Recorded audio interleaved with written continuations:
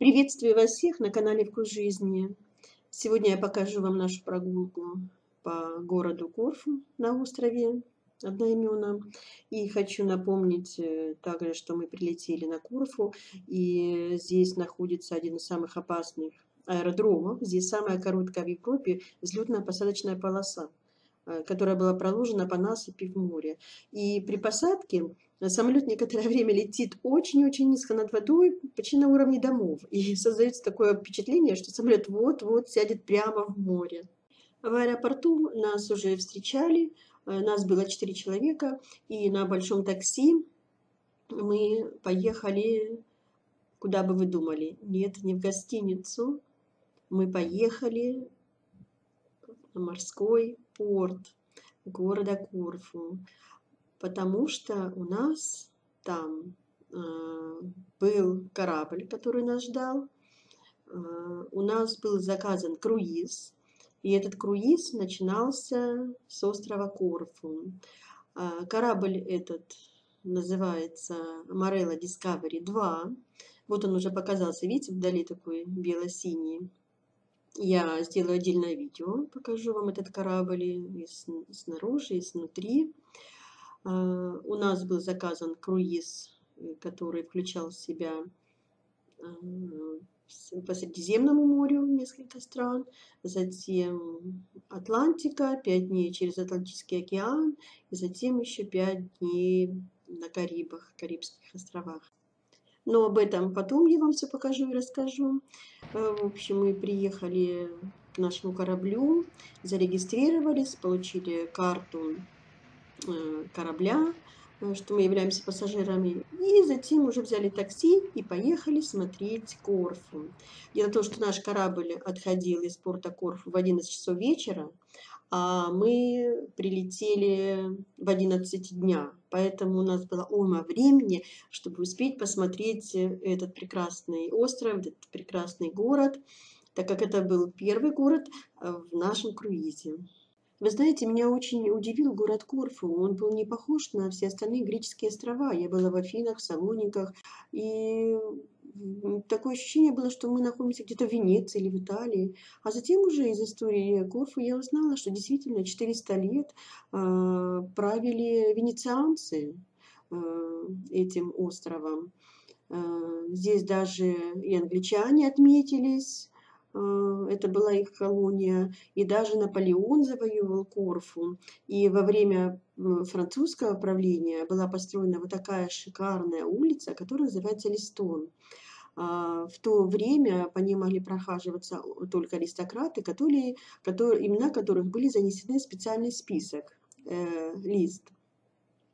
И вот мы прогулялись по этой улице, по шикарной, где на первых этажах кафешки, рестораны, различные магазинчики, а, очень красивые такие старинные фонари. Здесь также много сувенирных магазинчиков. Я сделаю отдельное видео, покажу, какие сувениры я купила на Корфу. Порадовало также то, что возле новой крепости находится памятник русскому адмиралу Федору Ушакову, а, который освободил Корфу от французов и даже два года был российский флаг на этом острове. Он также содействовал образованию на Ионических островах первого греческого государства после падения Византийской империи. И поэтому вот э, в память э, об этом событии и стоит вот такой памятник. Еще при посадке нашего самолета на Корфу я заметила внизу два маленьких островка. Один весь зеленый, такой в зелени, а другой белоснежный, и на нем э, находится какая-то церковь. И вот пирс ведет к этому крошечному островку, на котором находится такой же маленький монастырь. Э, имя этого монастыря Святой Богородицы Лахирны. Э, дело в том, что это был раньше женский монастырь, сейчас он не действующий, э, потому что самолеты пролетают мимо, гул, шум такой. Э, Все-таки монастырь должен быть уединенным местом. Там, значит, написано, что был в 1685 году был построен. Вход вот такой вот снизу со стороны колокольни, небольшой двор внутри и вот такая вот маленькая церквушка. И там также находится сувенирная лавка, где можно купить различные сувениры. В летний период возле монастыря на пирсе стоят лодки, где можно за 2,50 в обе стороны доплыть до другого островка, вот того зелененького. Этот островок называется Мышиный остров или по-гречески Понти Канисия. Он действительно такой крошечный, как мышка, и такой имеет белую дорожку, похожую на мышиный хвостик. А, и там, э, на этом островке, находится э, церковь, э, которая называется Пантократор. В ней находятся старинные различные иконы, и больше ничего на этом островке нету. Существует несколько древнегреческих легенд, как образовался этот остров. По одной из легенд бог Посейдон – превратил корабль Одиссея э, в камень, вот появился этот остров.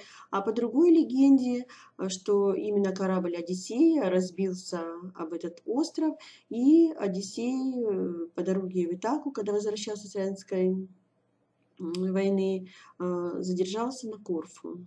Меня еще заинтересовал храм. Видите, вот оранжевого цвета, окно такое, как солнышко. Я вам расскажу, что же это за храм. И в следующем видео также расскажу вам, почему прогуливаясь по узким улочкам Корфу, я постоянно поднимала голову вверх и смотрела на башню с часами. Спасибо вам за просмотр и до следующего моего видео, до следующего продолжения нашей прогулки по Корфу. Пока-пока.